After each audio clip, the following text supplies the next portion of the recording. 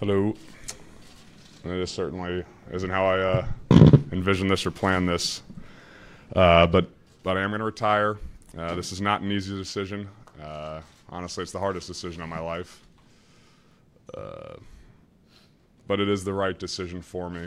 Uh, for the last four years or so, I've been in this cycle of injury, pain, rehab, injury, injury, pain, rehab, and it's been unceasing and relenting, unrelenting, both in season, both in and off season. Uh, and I felt stuck in it, and the only way I see out uh, is, is to to no longer play football. Uh, it's it's taken my joy of this game away, uh, and uh, this.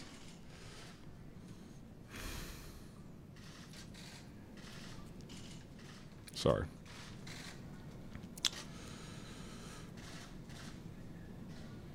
I've been stuck in this process. I haven't been able to live the life I want to live. Taking the joy out of this game. And after 2016, where I played in pain and was unable to regularly practice, I made a vow to myself that I would not go down that path again. I find myself in a similar situation, and the only way forward for me is to remove myself from football in this cycle that I've been in.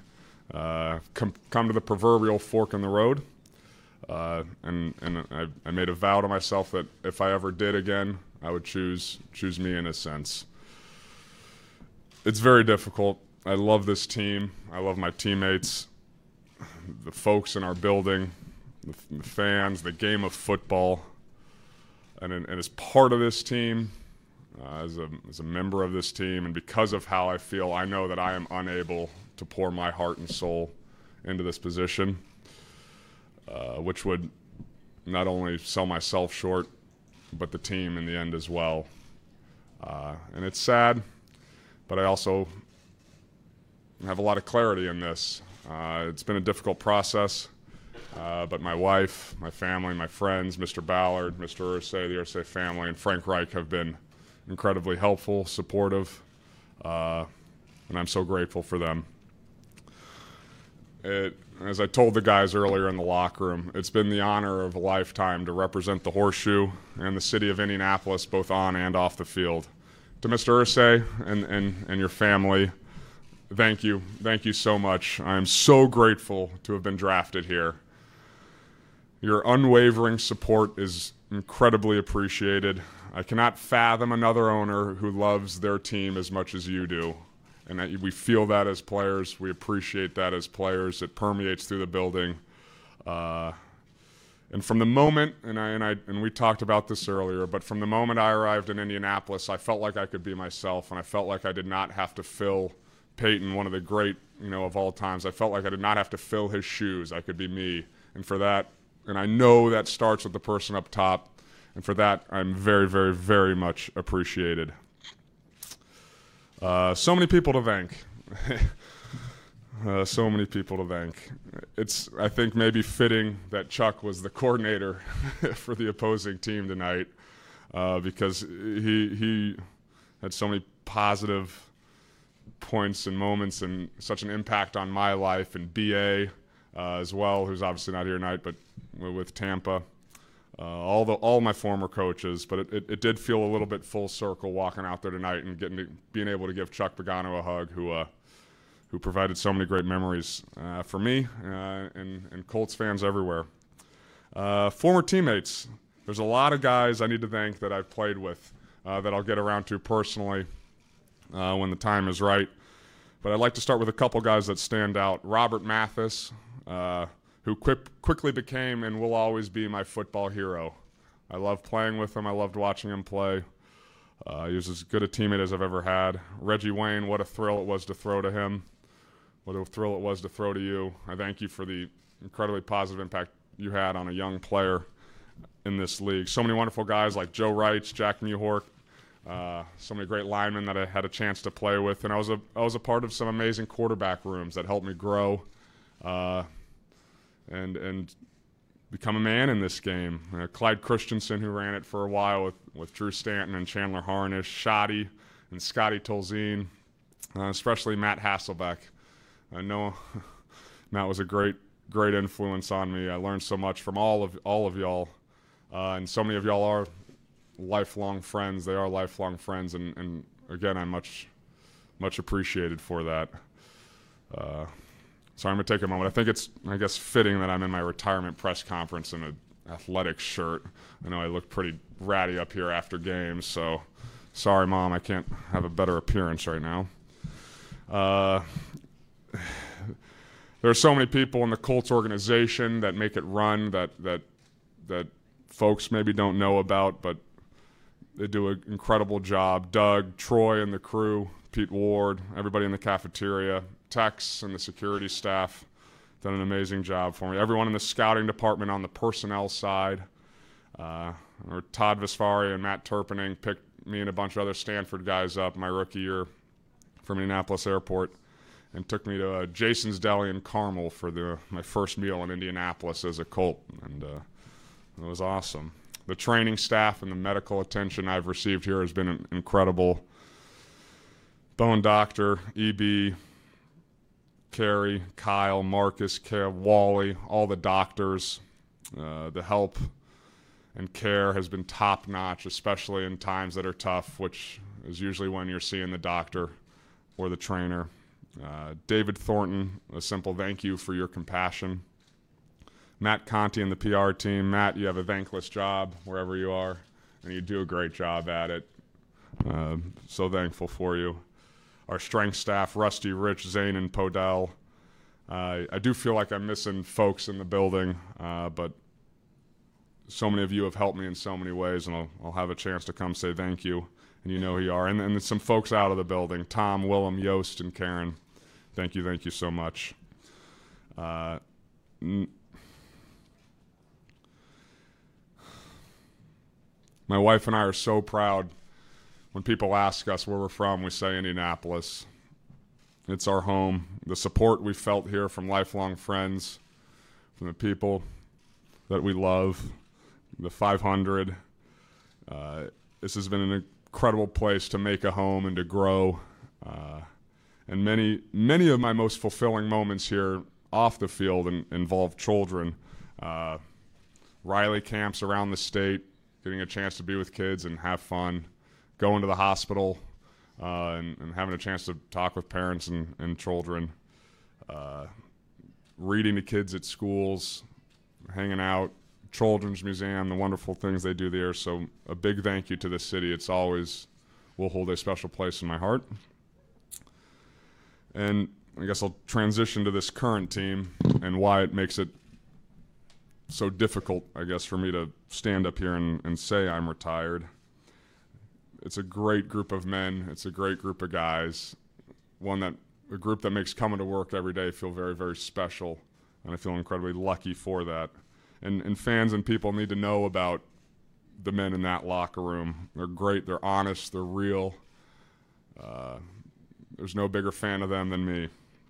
Chris Ballard, thank you. You know I have so much respect and admiration for you. I've had a lot of tough conversations. Uh, I've learned so much from him. The honesty, it's incredible. Frank, you're so thoughtful, driven, kind. Again, I've learned so much so you know there were times last year I'd have to pinch myself and say, "Is this for real? I mean, am I allowed to have this much fun on a football field?" And, and it started with you, uh, Nick Sirianni and Marcus Brady. Uh, it's the same. Gonna gonna miss being with them every day. They're they're they're good people. All the rest of the staff, the, they made they made coming into work a joy uh, and something that that I certainly certainly will miss and and I don't, you know, coming back last year and playing, uh, a lot of people had a lot of a lot helped me in a lot of ways, and and uh, they'll they'll never know how important that was to me, uh, and I'm again so so appreciative. And my teammates, I feel so conflicted because of my love for these men, uh, but but it but it is clear to me that's what's best for this team is is is me, does not involve me. Uh, and I'd like to say a quick note about a few of them uh, as, as we get towards the end here. But when I was a seven year old, my, my father drove me up to Amsterdam and I watched Adam Vinatieri kick for the Amsterdam Admirals in NFL Europe. Then, when I was in seventh grade, my father took me to the Super Bowl in Houston and I watched Adam Vinatieri kick a game winner against the Carolina Panthers. And then, of course, my, fir- my first win as a Colt involves Adam Vinatieri kicking a game winner against the Minnesota Vikings. And I, I told him all this earlier today. I stand in awe of Adam Vinatieri. He's a he's a he's a great man, a great teammate, and uh, again, he's one of those guys. I'll I'll tell my grandkids I got to play with him. Uh, the guys on the O line: Braden, Glow, Ryan, Q, Hagrid, Le'Raven, Bamer, Josh, and of, of course Anthony. Uh, they were they've been a pleasure to play around, and there's so many more that that I've played with in the past, but. Uh, they they were a big part of last year being very special for me. Obviously, the success of the team, and uh, I'm so grateful and appreciative to have had a guy like Anthony Castonzo be in the building uh, from the day I walked in. Jacoby Brissett is an awesome dude. He's got a bright future. He's diligent, sharp, loves football. Uh, I hope I can continue to support him in different ways. I am so grateful for our friendship. I, uh, on a on a personal, well, getting a little more personal, but coming back into the building early last year, I was very jealous and resentful of this fun, happy dude that was in my spot as a quarterback on this team. I obviously didn't have a lot of confidence in myself at that time either, but I could not have been more wrong. And he helped me grow in so many ways. He's a lifelong friend he means so so much to me. He's a big part of you know me having one of the more rewarding years of my football life last year. I cannot wait to support him and see him lead this team. I am excited for the future of the Colts in large part because of Jacoby and also all the other men in that, that locker room. there's so many guys on offense and defense that have had a pleasure to play with. Clayton Geathers is I love watching Clayton Geathers run around and play football. All the running backs and Rathy, the tight ends. Eric Ebron was fun to play with. I'm so excited for his future. He's a great friend. Mo, Jack Doyle, Jackie Jack, and I have been through a lot together. I'm going to miss him a lot on the football field, but, but we're friends forever.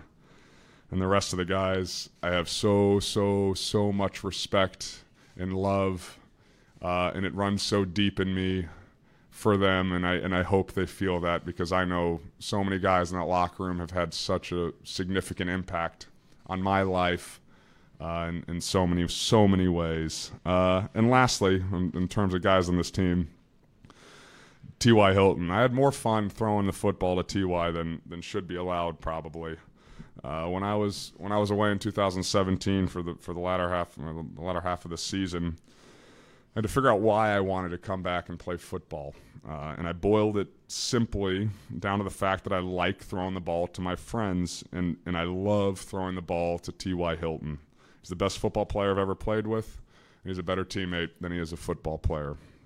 Uh, in conclusion, my, my folks who aren't here tonight, but mom, dad, Mayor, Emily, Ad,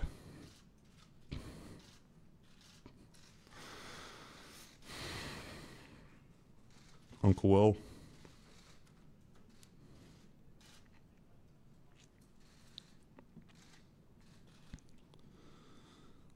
All my friends, thank you.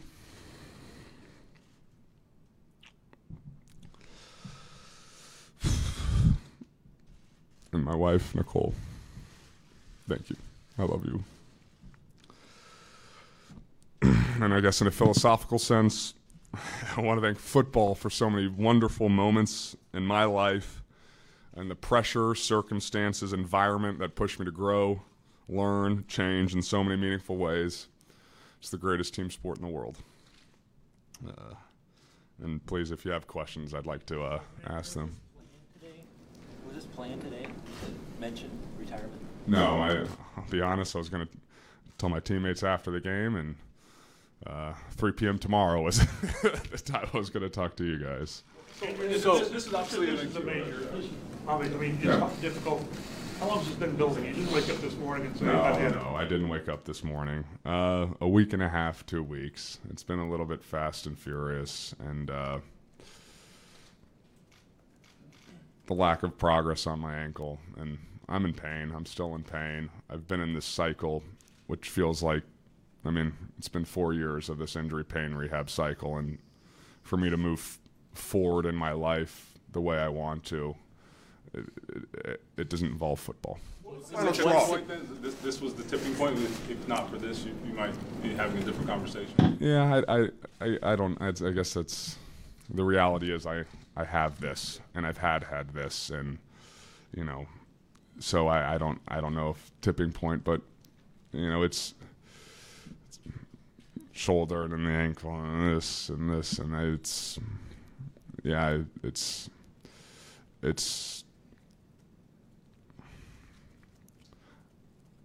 I've not been. I I don't feel like I've lived the life. You know, I can't live the life that I want to live moving forward with this. Yeah. Is the first time retirement entered your mind in a serious way? Yeah, a couple weeks ago, a week and a half ago. Not even last year. No. How much of an emotional toll has all this taken on you? Yeah, I feel quite exhausted and quite tired. Uh, I I do know once I hit the sort of point where I felt like I knew what I needed to do for myself and talked to Nicole and, and some you know, my folks and some close friends and family that and then had some you know some very difficult conversations with with Mr. Irsay, Frank and Chris but uh, it did feel like in a sense a weight was lifted then but but it's it's been tiring I I feel tired and not just in the physical sense What was the final straw, Andrew? Was it after a workout? What was it you said, you know what, I'm going to go home, sleep on this, and this? I, I don't know if there was a final straw per se. Uh, the lack of progress, I think, just built up and uh, run into one. Okay, you know, turn the corner. Okay, well, let's you know run into another stumble block. Turn the corner. Turn the corner. And you know, I, I can't remember if there was one thing that that you know, tipping point or final straw, but uh, yeah, I, I, again, I feel um, so much clarity, and again, so grateful for for for for the for the experiences and the and the uh, the positive times that I have had here. How know, say a year from now when the ankle's finally healed, you won't want to come back? Yeah, I, I, I can't see the future, Zach. I'm, I'm not gonna sit here and say it, but I, I very clearly in my mind uh, see that that that I'm that I won't. That I'm, it's not. Yeah. See, say, um, do you know what's going on with the ankle yet? Like, It's never- it's a myriad it's a myriad of issues, and I I calf strain, posterior impingement, high ankle sprain. I I it's part of my journey going forward. We'll be getting out of pain and figuring out what's going on and and how to and how to how to how to feel better. Obviously, so there. I don't have any definitiveness in my not mind on it, and we'll continue working on that. It's going to be a, it's, you know, quite a timeline to, to deal with that if you continue, continue playing. Yeah, and I, I'm not, so it's, uh, it's you're right Like the, the ribs, the kidney, the shoulder, the ankle, the calf, all that over the years is what led us here today. Is that correct? Yeah, and and I'd like and I'd I I'd like to say too, this has been my personal journey in football, obviously, and not and everybody's journey is is is different. And I, uh, I you know, uh, over the past week, I'd sit and think, you know, am I, do I am I going to have a bunch of resentment towards this game or spite towards you know coming to this building or and, and I don't I, I, all I feel is love for this game and love for my teammates and walking in and I know I know my journey has had some you know some ups and downs and physically it has taken its toll over the last 4 years. And that, I mean that is why I'm here. And and and the and the mental and emotional toll that that that that takes as well yeah But you never could have imagined walking away from football at the age of 29. Yeah, I, I'll be honest. I didn't imagine retiring when I didn't imagine retiring until two weeks ago. So, I, uh, but no, I, I didn't think of it in that way. No, no. last Saturday on the field. What, Yeah. what were your emotions coming off? Because you said you've been thinking about it for two Yeah. weeks. Did you think then you still were going to play this year? I, I, I, I, I had a good idea that it might. I had thought that this might be my last time throwing on Lucas Oil. Uh, you know, in a in, as a as a current member of a Colts team, and it was. Uh, told myself I made sure to go out and enjoy it. You know. You've, al- you've always been one of those pe- people who took the blame on anything, whether it was an interception or whatnot and stuff. Did you ever try to say, all right, maybe I should try to play through this because I don't want to let those guys in the locker room down? That's a, that's a good question. And in 2016, after that season, uh, in which I which I played through some stuff, uh, I made a vow to myself that I would never do that again. I uh, I got in a not a good place, uh, and and I I, f- I felt that the past week and a half, two weeks, and that that's also a big part of why I'm here right now talking about this. You said that quite a few times, just Yeah. in different references, and, I mean, this game does require you to put yourself second, and oftentimes, right? And, I mean, just, just, you know, having, talking with team first and that sort of thing, Yeah. which is what you have to do. I mean, just how, when you, when you've done all that you've done, uh, and how did, how were you able to reconcile all that, you know? I mean, that's, that's a tough, uh, tough calculation, I guess, to make sometimes. Did you ever? Reconcile that right Yeah, yeah. now No, no, or no, in- in over the years. past? I mean, over the years, you know? Yeah, no, I look, I yeah. It's about the team. I got to put myself second, or just you know. No, I, I wouldn't. I wouldn't say. I, I, I never felt like. Uh, I guess in my mind, I never looked at it as me or the team. Uh, part of the team, and, and do my best for the team, and also do my best for the self, for myself, in a sense. Uh, but but it's. I mean, it, it's the greatest team game in the world. I've loved being in that locker room. It's it's truly been the honor of a lifetime to to suit up next to many of those guys, and that's part of what makes this very very very difficult. A couple Not, not on a negative, but all that you've meant to the team and the city and and the stunningness of the decision. Any reaction to the fans? Did you hear the reaction walking off the field? Yeah, I, I'd be lying if I didn't say I heard the reaction. Yeah, it, it hurt. I'll be honest, chap. It hurt. Saw with the fact that you didn't get your your fair chance necessarily in this I. I, you know what? I, I, yeah, I don't, I don't look. I, I certainly feel like I got my fair chance, and I'm very grateful for every snap that I got to take, and you know the the lows and learn from them, and the highs, and, and all the positive things uh, that happened in this building that I got to be a, you know, be a part of. So, so I, I, I. I, I, I don't hold any resentment, I guess, in that way. I do feel like I got a fair chance, and I tried to make the most of my chance. And, and, and right now, my journey just doesn't doesn't include football going forward. And I'm uh, again so grateful to have. Uh, I'll feel like a Colt forever. I, I know I will. I'm so grateful again for the Irsay family, for Frank, Chris, uh, everybody in that locker room that that that is I've got a chance to you know take the field with. It's it's truly been the honor of a lifetime, and I understand the the suddenness and maybe the surprise behind it. I I, I really do, uh, but I also know I have so much clarity uh, about about my next steps moving forward, and uh, uh, and I'm, I'm I'm so excited for this team. It's it's a great team. Andrew, Andrew, steps going forward is being a father. How much is that factored into this decision? Yeah, then not not really. It's a bit, of an unusual, a bit of an unusual situation, but how much do you anticipate? You mentioned how much you love this franchise, how much they mean to you. Being around still, you know, the season's about to start. What are your plans? Take a full back seat, or do you plan on being around? I know. I'm, I'm friends with so many guys in this locker room, and I mean, we live here. or, yeah, it's this is our home. Uh, so support the guys the way I can, and I certainly uh, need to rehab and, and, and, and get feeling good. And uh, yeah, I got some folks that I need to call and thank them, and uh, uh, it might be a late night on the phone and with some friends and, and some crying and laughing and some teammates. And uh, I guess before I get off, I should also thank those of you who have covered me for for most of my career, all of my career.